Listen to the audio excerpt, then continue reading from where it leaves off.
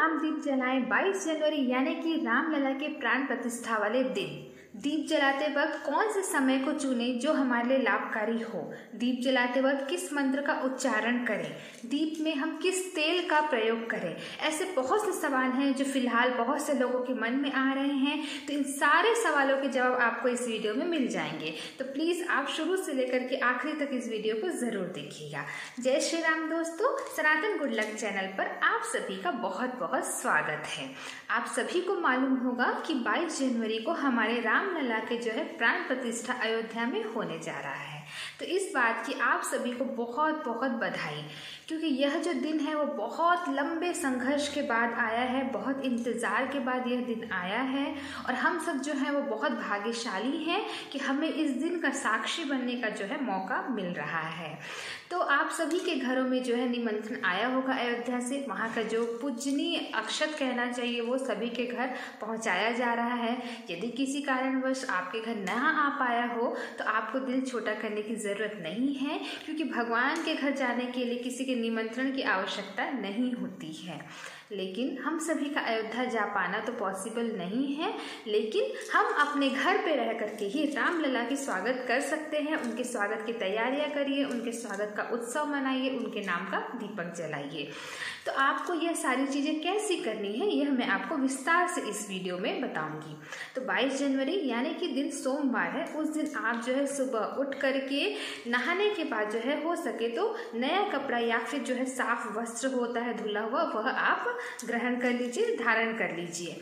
उसके बाद आपको क्या करना है कि आपको आपके घर की थोड़ी सी साफ़ सफ़ाई रखनी है। आप जो है घर के बाहर रंगोली बना सकते हैं। घर को बंधन मार जो होती हैं, उससे आप सजा सकते हैं। जैसे जो फूलों की माला होती है, उससे आप सजा सकते हैं। तोरण से आप सजा सकते हैं। ऐसा कर लीजिए, आप घर का जो मुख्य द्वार होता है, वहाँ पर आप स्वास्तिक बना सकते हैं। अगर आपके पूजा रूम में कोई दरवाज़ा है तो वहाँ पर आप स्वास्तिक बना सकते हैं। या जो चौखट होता है चौखट के ऊपर में आप जो है स्वास्थ्य बना सकते हैं। आप क्या करें? आप गंगा जल का छिड़काव पूरे घर में करें जिससे घर की जो है शुद्धिकरण हो जाए। अब उसके बाद आप जब पूजा करेंगे तो आप जो दैनिक पूजा करते हैं वह आप कर लीजिए। लेकिन राम जी की जो हमको पूजा करनी है उनकी प्राण प्रतिष्ठा के कारण जो पूजा करनी है वह जो है आप अभिजीत मुहूर्त में कीजिएगा। क्योंकि अयोध्या में भी जो राम जी की आ, का प्राण प्रतिष्ठा हो रहा है वह जो है अभिजीत मुहूर्त में हो रहा है। बाईस जनवरी 2024 के अभिजीत मुहूर्त में हो रहा है। यह अभिजीत मुहूर्त शुरू हो रहा है ग्यारह बज करके बावन मिनट से लेकर के बारह बज करके तैंतीस मिनट तक। तो इस अभिजीत मुहूर्त में जो है आपको आपके घर में भी पूजा करनी है। तो इसके लिए आप क्या करेंगे? आप जो है एक चौकी रख लीजिए।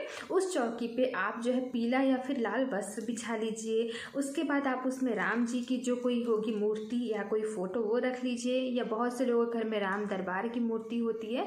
तो अगर राम दरबार की है तो बहुत ही श्रेष्ठ है क्योंकि उसमें जो है माता सीता, लक्ष्मण जी और हनुमान जी भी आ जाते हैं। क्योंकि अगर आप राम जी की पूजा कर रहे हैं तो आप कोशिश हमेशा करिए कि आप हनुमान जी की पूजा भी अवश्य ही करें। तो आप राम दरबार की अगर मूर्ति है तो वह आप उस चौकी पे जो है रख लीजिए। अब उसके बाद आपको क्या करना है? गंगा जल का छिड़काव करना है, शुद्धिकरण करने के लिए, यानी कि आप भगवान को जो है नहला रहे हैं। तो आपको क्या है? जल में गंगा जल कभी ना मिलाएँ। आप पहले गंगा जल डाल लें, किसी ग्लास, कटोरी जिसमें भी हो, पूजा का जो बर्तन होता है उस पर तो आप पहले गंगा जल डालें, उसके बाद उसमें आप फिर जो है साधारण जल डालें और उसके बाद फूल से उसका आप छिड़काव कर लीजिए। इसके बाद आपको क्या करना है, आपको एक दीपक जलाना है इस वक्त। वो दीपक जो होगा, आपकी पूजा का साक्षी होगा। तो आप अभी फ़िलहाल तो एक दीपक जलाइए। उसके बाद आप जो है भगवान जी को जो है सिंदूर, चंदन ये लगाइए, उन्हें अक्षत चढ़ाइए।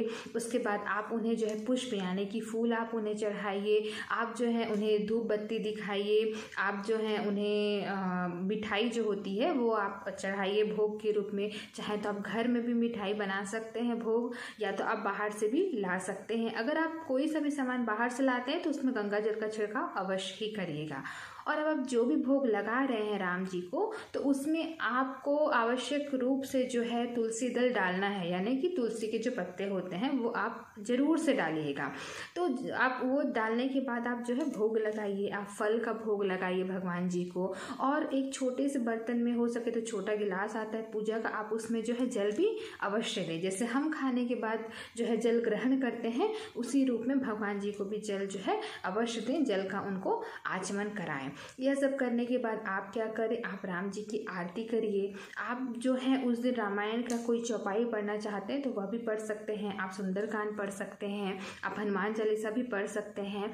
तो समझ देवी देवताओं की पूजा करने के बाद आप जो है वो आप आरती करिए। आरती करने के बाद आप उस आरती को आपके पूरे घर में दिखाइए। आपका घर पूरा शुद्ध हो जाएगा, पूरे घर में दिखाइए। और जब भी आप आरती करें तो आखिरी में आपको कपूर भी आवश्यक रूप से जलाना है। तो उसके साथ आप जो है पूरे घर में आरती दिखाइए।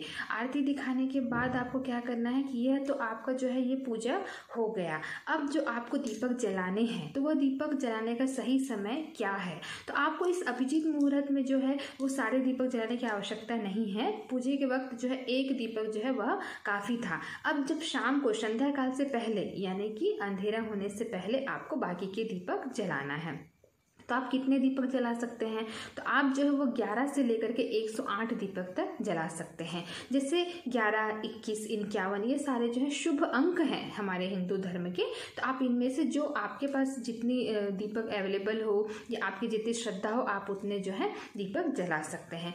तो आप चाहे जितने भी दीपक जलाएँ उसमें से पाँच दीपक जो है आप क्या करें पूजा रूम में ही रहने दें। आपके जो पूजा वाला रूम है वहाँ पर आप रखें। और बाकी के जितने दीपक हैं वो आप अपने जो जो मुख्य द्वार है, आपका आँगन है, जितने भी प्रमुख जगह होते हैं घर के, उन सब में रखेगा। उसके बाद आपको जैसे आप दिवाली पे जैसे आप दीपक जलाते हैं, जैसे आप खुशियाँ मनाते हैं, आपको जो है वैसा ही करना है। अब यह प्रश्न आता है कि आप कौन से तेल से दीपक जलाएँ? तो देखिए दोस्तों, आप जो है हो सके तो शुद्ध घी का इस्तेमाल कर सकते हैं। अगर आप ग्यारह दीपक जला रहे हैं तो शायद ज़्यादा बड़ी बात ना हो, घी का इस्तेमाल करने में। तो शुद्ध घी का अगर आप इस्तेमाल करेंगे तो वो अच्छा रहेगा। लेकिन यदि आपके पास घी नहीं है तो कोई बात नहीं, आप तेल का इस्तेमाल भी कर सकते हैं तो आप सरसों तेल का इस्तेमाल कर लीजिए। और यदि सरसों तेल नहीं है तो तिल के तेल से भी जो है दीपक जलाया जाता है तो आप तिल के तेल का इस्तेमाल कर लीजिएगा।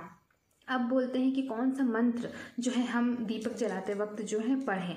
तो दीपक जलाते वक्त, राम दीप जलाते वक्त भी एक मंत्र है, जिसका आप जो है उच्चारण कर सकते हैं। और वह मंत्र है शुभम करोति कल्याणम आरोग्य धन संपदाम शत्रु बुद्धि विनाशाय दीपम ज्योति नमोस्तुते मैं फिर से एक बार दोहराती हूँ। शुभम करोति कल्याणम आरोग्यम धन संपदाम शत्रु बुद्धि विनाशाय दीपम ज्योति नमोस्तुते तो यह जो मंत्र है, इस मंत्र का आप उच्चारण करिए। लेकिन यदि आपको यह मंत्र याद नहीं हो पा रहा है या आपको पढ़ने में कठिनाई हो रही है ऐसी कोई सी भी परेशानी आए तो आप सिर्फ़ राम नाम लीजिए। राम नाम कहते हुए आप जो है, आप जो है दीपक जलाइए, क्योंकि राम नाम से बड़ा और कोई चीज़ नहीं है इस जीवन में, इस दुनिया में। तो आप राम नाम के साथ जो है दीपक जलाइए। बस मन में आप जो है राम भगवान को याद करिए और आप दीपक जो है, आप दीपक जला सकते हैं। तो यदि आप दीपक जला लीजिए, यदि आपके पास जो है जो फुलझड़ी वगैरह अगर आपके पास दिवाली की होगी, बची हुई या आपको मिल सकती है तो आप वह भी जो है, उस दिन जला सकते हैं। तो यह यह सारी चीज़ें आपको जो है, उस दिन करनी है। आपको दिवाली ही मनानी है, क्योंकि हमारे रामलला है। रामलला जो है, उनकी प्राण प्रतिष्ठा हो रही है और बहुत सालों के इंतज़ार के बाद यह जो हमारा सपना है, वह पूरा होने जा रहा है। तो आपको इसी उल्लास के साथ जो है, ऐसी पूजा करनी है। हो सके तो आप वो गाना जो भजन है वो मुझे बहुत पसंद है, आप भी जो है बिल्कुल सुन सकते हैं। राम आएँगे तो अंगना सजाऊँगी। राम आएँगे तो अंगना सजाऊँगी। दीप जला के दिवाली में मनाऊँगी। मेरे जन्मों के पाप सारे धुल जाएँगे, राम आएँगे। मेरी झोपड़ी के भाग आज खुल जाएँगे, राम आएँगे। अगर आपको ये वीडियो पसंद आया हो तो प्लीज़ इसे लाइक, शेयर ज़रूर करें। एंड प्लीज़ प्लीज़ मेरे चैनल को सब्सक्राइब कीजिएगा। जय श्री राम।